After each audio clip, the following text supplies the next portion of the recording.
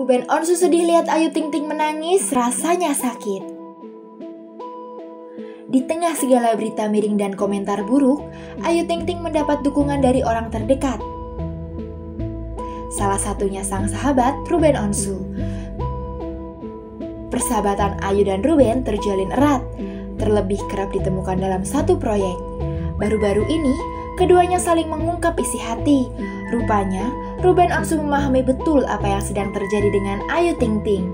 Ia mengaku sedih ketika melihat sang pelantun Sambalado menangis karena tak bisa berbuat banyak. Ia mengaku jika melihat Ayu nangis, dia rasanya sakit. Tapi, Ruben Onsu mengaku tidak bisa berbuat apa-apa. Kata Ruben Onsu sambil menahan air matanya, seperti dilihat dari kanal YouTube Trans TV.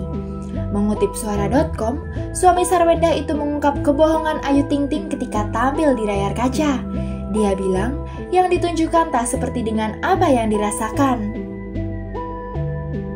Walau demikian, di tengah situasi yang menyudutkan sang sahabat, Ruben mengaku enggan menyalahkan siapa pun. Ia memilih untuk meminta Ayu yang dianggapnya adik introspeksi diri. Sekali tiga uang, Ayu Ting Ting bersyukur punya sahabat seperti Ruben Onsu yang selalu ada untuknya. Ia menyampaikan terima kasih kepada Ruben Onsu meski terkadang bikin sebal. Walaupun dia galak, suka ngeselin, tapi dia lagi yang nampung.